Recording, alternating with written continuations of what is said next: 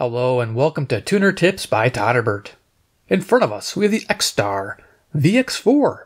It's a 4-bay visible mixer smart battery charger. You can find this selling on Amazon USA currently for $42.99. It just came out. So I'll have links down in the pay link section if you're interested in this charger. It's an awesome one because it's all batteries, one solution. Let's check out the box. So you can see we can charge nickel metal hydride batteries from AAA to D cell size. Awesome. Our lithium ion 1.5 volt batteries, they're pretty popular right now. Your lithium iron phosphate batteries or standard lithium ion. Cool. So there you go, picture of the device. And first capacity tester for the 1.5 volt AA or AAA lithium ion batteries. Not alkaline, lithium ion only, please. Do not stick alkalines in this charger. Not good for you uh, 3 amp charging on a single battery. You can mix charge your batteries, so you can put different types all together. That's handy. On the back here, it's got a little paragraph. Charge input on your USB-C. Nice.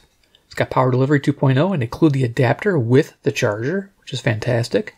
Part of the price, probably. Those little adapters are about 10 bucks typically. It provides 12 volts at 1.67 amp input. Of course, you can use standard Qualcomm charging too. If you misplace your adapter, it'll use that as well. And you can see for battery types, for lithium ion, goes from a 10440 all the way to a 32650. Now it'll also charge 21700 protected button tops. I actually have one I'm going to show you that measures 21770. Nice. And of course, your standard lithium ion 1.5 volts and your 1.2 nickel metal hydrides Again, showing you AAA, AA, uh, C's, and D's. Now, I will recommend AA's and C's in this charger because you can see the charge rate is half amp, whether you're charging one battery or four batteries. It locks it in at that, that rate when you're charging those batteries. What's included, as you can see, there you go, and we'll show you that. And done with the box. Let's see what comes in it. So we get the charger, star of the show. Awesome. The VX4 looking good. I like this. Nice size. Get the whole thing in frame. Bring this up a little bit, a little bit. Yeah, just a little bit. All right. What else do we get? We get the adapter I told you about. USB-C, power delivery 2.0, and I believe the shows you on there. So you have 5 volts, 3 amps, 9 volts, 2.22, and 12 volts, 1.67, giving you that max 20 watt. Handy be plugging that in and be using this. They also provide you with a cable. I'll use my own, but this is works fine. USB-C to USB-C. And then we get a manual with multiple languages. We'll go to English real quick. Do a basic overview. There you go. Just going to quickly move through here. Freeze frame if you need to. In case I miss something, which I might. I'm just going to charge uh, standard battery types, nickel metal hydride, the 1.5 volts. Standard, yeah, standard batteries. I'm not going to get into the LFPs or the lithium iron phosphates. So here you go, just kind of quickly scrolling down. So you can see you got two modes, charging mode and a capacity check mode where it charges, discharges, and charges it back up and gives you the result which is pretty handy. And of course, it does that for the 1.5 volt batteries, which they're proud of being the first to do that. So there you go. Done. So let's go ahead. I'm going to plug this in. AC outlet right here. Get that ready. And let's talk about the charger. So the VX4 dimensions. We are 5 and 1 16th of an uh, width. We have 6 and 3 quarter inch in height. And depth, we have 1 and 3 quarter inches. Nice. Size comparison, I always like to bring out something, maybe a radio, because I'm a radio channel. CC Skywave 2. CC Pocket. Give me an idea. And if you don't have those, we have deck of cards. Iron Man, he's the man with the master plan. He loves XTAR Chargers from China land. He's Iron Man. Charging his suit up with the XTAR brand. hey, that rhymes. Awesome. Okay, you get the idea. All right, cool. So Let's go ahead and take that out there and uh, yeah, let's go ahead and plug it in. So your input is right here on the back. Got USB-C and again 12 volts, 1.67 amp input. And I'm gonna go ahead and plug this other end into my charger adapter. There we go.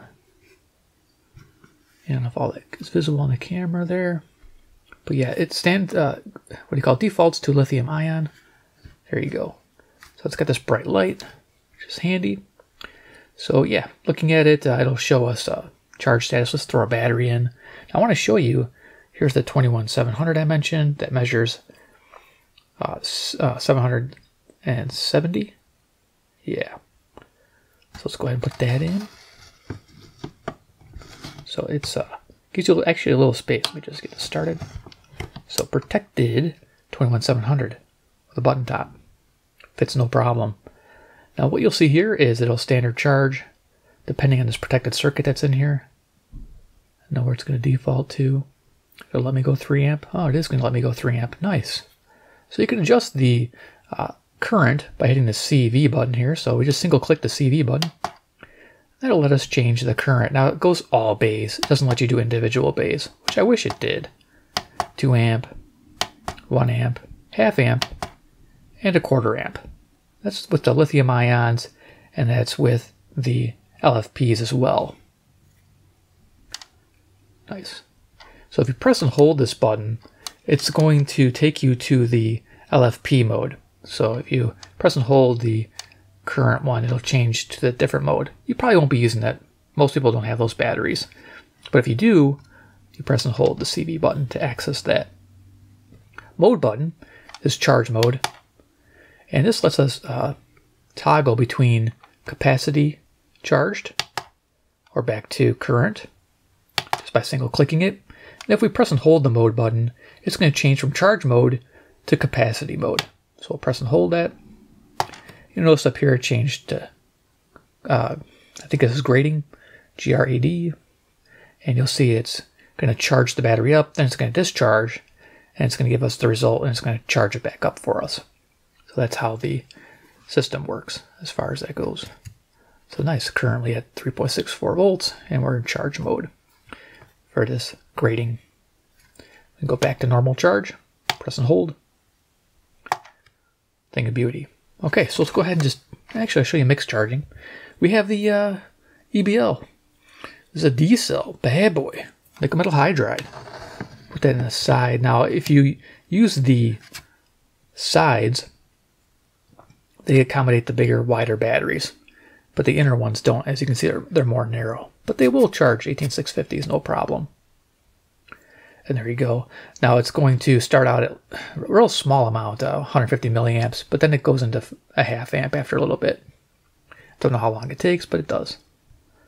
So yeah, very interesting there. Of course, I'm mixing a lot of stuff here, so you get the idea. Of course, I could throw in a XH data battery that would look familiar, I'm sure, to you guys. Pop that in there. And then we can say throw in one of these uh, XTAR 1.5 volts. And we'll charge that at the same time. So we're charging three different battery types. And it should show us that by voltages. So there you go, cool. Detected lithium 1.5 volt. Over here nickel metal hydride. And of course, those flash as a chart, that's normal. And this one stays steady. And that's normal. So just to let you know. Very cool. And of course, yeah, it's got an indicator on the battery uh, that it's charging with that green flash. So pretty cool. Uh, so this button here, this milliwatt hour, milliamp hour, that's when you're doing the testing of the 1.5 volt lithium batteries. If you want to see the, the different results while it's doing a discharge cycle, you tap that button. You long press to turn the light off. So if you don't want to look at that bright light, you don't have to. You can actually make out what's going on there if you angle it into a light source without having that light blasting away. But you just tap it again, bring it back. Pretty basic. It's a it's a simple charger. Um, yeah, liking it. I like like like what it does. Just it does everything I needed to do. love that. I can do my D cells uh, in a pinch. I mean, gotta run it all day pretty much, but it'll do it. So yeah, liking it. So I think I covered like the chargers. I mean, it's all it's all printed in the manual. It's pretty basic. So, um, like I said, if you're just doing one battery, one lithium battery, three amps. If you're doing two lithium batteries, uh, you can go two amps a piece, which is nice. If you're doing four lithium batteries, you can go one amp a piece, half amp, or quarter amp. So that's kind of nice. It lets you do that if you're doing just lithium ion only. Now, if you're doing the 1.5 volts, it's just going to default at half amp regardless. Same with nickel metal hydrides. So again, a good charger for say the double AA nickel metal hydride, but not the AAA. But as far as the 1.5 volts, the AA and AAAs are fine because they have protected circuitry. They take the 5 volts and convert it to the necessary uh, amperage they need, the half volt, or sorry, half amp into what they need. So it provides the half amp, but it may not use it depending on the charge circuit. But pretty cool. Now, when I tested these uh, with the circuit, I noticed that the XTAR brand it was pretty close to stated capacity. This one says 1620. I got about 10% variation, so pretty close to the rated capacity. These are new ones. Uh, the older ones were the green ones. I also tested these as well. As I was able to test the, see, you notice they only printed the milliwatt hours. They changed that, which is good on the newer batteries. I don't know if I can see that, but they did it on this one here. Yeah, they say a thousand milliamp hour. It's actually pretty nice that they're higher capacity like that. Very cool. See what they're doing there? All right, great. So rocking away. I think I pretty much covered. It's a, a pretty simple process here. Um, straight up. So you get to see it doing all those at once. Great. So we'll go ahead and pull these out. And we'll do final thoughts on the VX4. I like the fact that it can charge this monster battery here. And it can charge at low speed, fast speed, whatever speed I want. That is fantastic. Of course, it just defaults to lithium ion. And mixed charging is, is nice as well. So, all right. So, what do I like about this charger? Well, I like the fact of mixed charging, number one. Capacity measurement on the lithium batteries is handy I don't know if it's necessary. I just use them on my devices and kind of get a general idea if they're as good as a standard alkaline or if they're as good as a standard nickel hydride. But it's good to know over time if your cell is degrading uh, and how much it has degraded. So that is nice. You can use this charger to grade your cells to find out how they're doing life-wise. Uh, these should last quite a long time. These are good for your flashlights, by the way, not radios. Keep in mind the 1.5 volt batteries the lithiums, they put out RFI, unfortunately. But it's one of those things. The charger itself, it's a little high priced for what it is. Um, I'd like to see the price come down just a bit. That's one thing I wish it uh, would do. Uh, I wish it had a storage mode uh, for the lithium ion. That would be fantastic. I know it's only 4 bay, but to be able to have a store mode, I mean, just having charge and capacity grading, that's great, but I'd like to have storage as well for my lithium ions. I'm sure you guys would agree. You're paying $42 for this charger. I wish it would have some extra features like that. And per bay current management. I mean, if I want to charge my bigger fat battery at 2 amps and my other ones at a quarter amp, I wish I could do that instead of just being across the board. You know, if I had like a uh, a smaller 10440 or a 14500 cell I wanted to charge in here, uh, I'd have to just put that battery in. Otherwise, I'm you know if I want to charge my one battery at two amps, I'm not going to charge that little AA battery at two amps. That's not going to be a good thing. So keep that in mind when you're charging your lithium ions. So there it is, the VX4. Does it get an upvote? It gets a maybe. Uh, you got to have a use for the capacity measurement of the 1.5 volts. That's its main thing.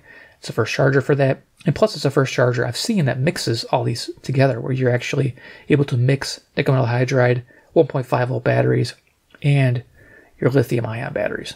That's fantastic.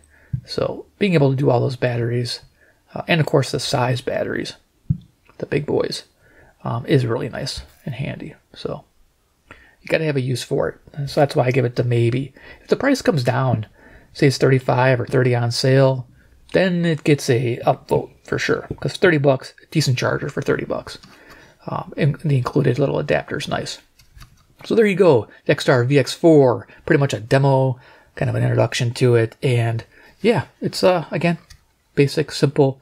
You, you know, they make different ones. If you don't need this, they have the V C4, I believe. There's, there's other four bay chargers that XTAR sells. Check those out as well. I have links again to those that I've reviewed, uh, and you can take a look at those and see if any of those appeal to you. All right, guys. Uh, so yeah, if you like XTAR brand products, make sure to subscribe at the bell icon, get notified of future reviews of their batteries, their chargers. And of course, three, comment below what you think about the VX4. Is this something you would use? Do you like the idea of being able to charge all these different battery types? Uh, do you like the idea of capacity measuring 1.5 volt batteries? Are you a fan of these? Do you use these? Again, using them in flashlights, they're great. Uh, I like them because they're 1.5 volts until they stop. They usually give you a warning, a little bit of a flash to the uh, circuit, so you know that uh, something's going to happen. It's going to dump. So I remember using this in a flashlight that was doing that. So it does give you an indication it's running low. So that's nice. So let me know. All right, guys, thanks for watching, and we'll see you in my next video.